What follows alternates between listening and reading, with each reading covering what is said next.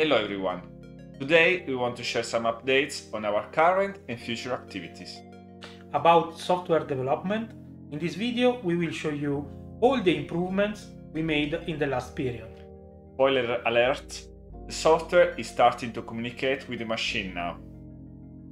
Following some requests on Reddit channel, we decided to renew the actual mechanical repository structure. Huge work, but necessary. As usual, this video is sponsored by PCBWay that supports us in our projects, as you do by following, sharing and subscribing to our channel. Thank you.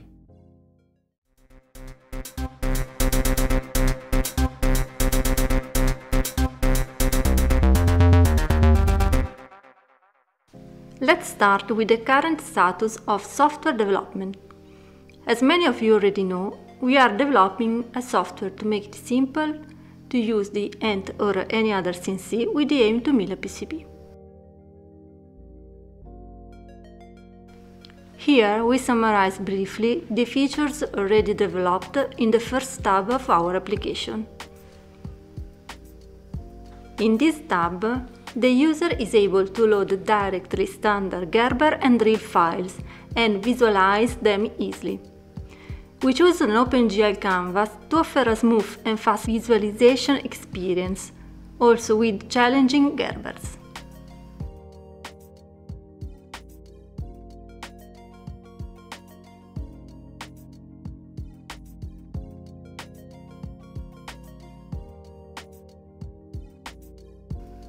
As a default, all the loaded layers are shown, but it's possible to hide one or more of them with dedicated checkboxes.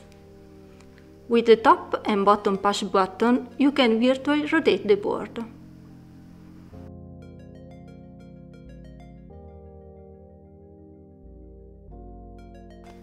In the second part of this tab, we added the generation of the G-code files for each of the loaded layers. We try to simplify this process by keeping the minimum number of parameters needed for each of the layer types.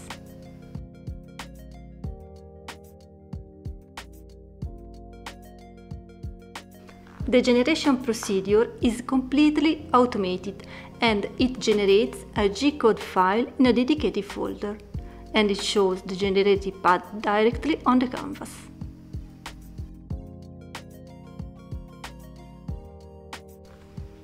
A great amount of work has been done in this section, and there are some interesting aspects, like the drill path optimization based on a genetic algorithm or the automatic gaps generator for the profile of the PCB.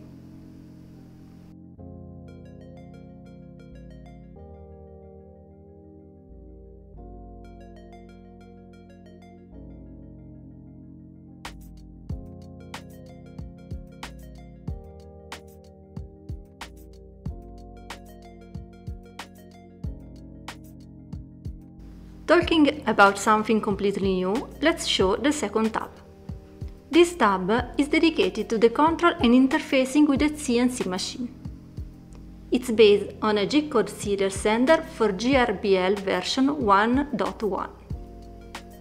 In the first section, the user can load the G-code files either generated from the first tab or provided by the user. The sender section is already capable to connect to the machine, send the G-code files and some simple commands.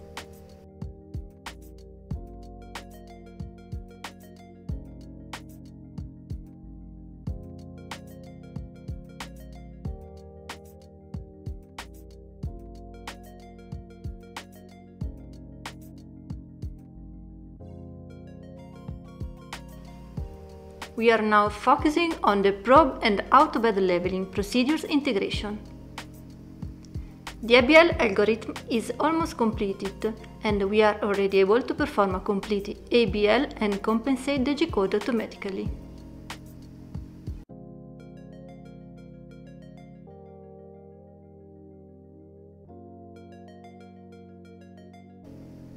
For this section, the next step will be automate the tool change procedure as much as possible.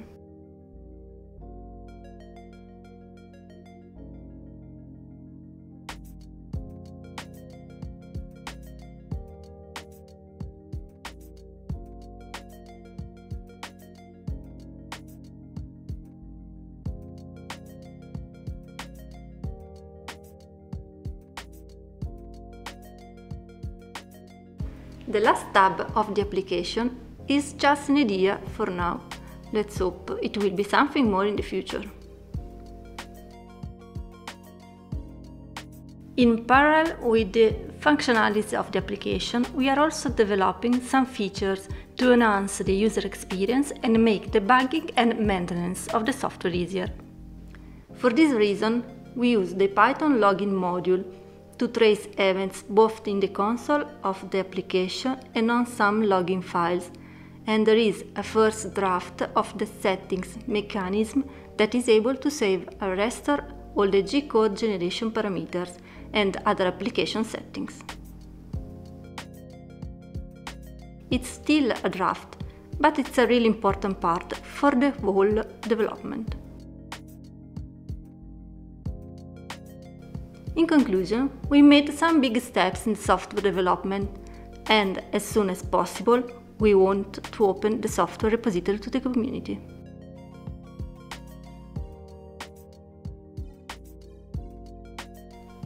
Back to the Ant project.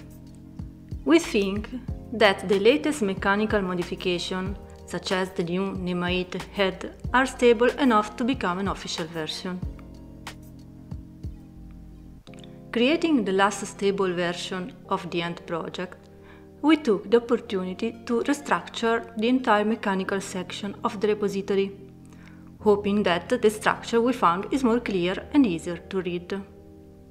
We removed all the beta parts, moving the ones that are now released in the appropriate directory and removing the dismissed ones.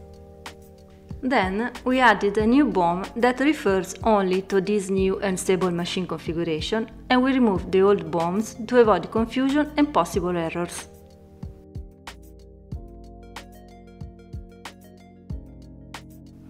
In the new BOM, we didn't insert any link, because the link to many parts could be invalid after some times, or the linked part could not be available to some people of some specific area in the world.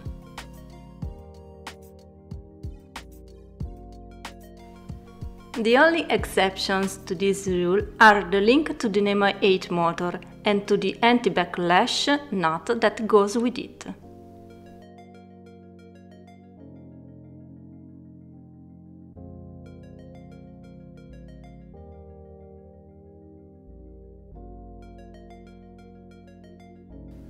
Anyway, before all these modifications, we added some tags so that the previous releases are still available and easily reachable.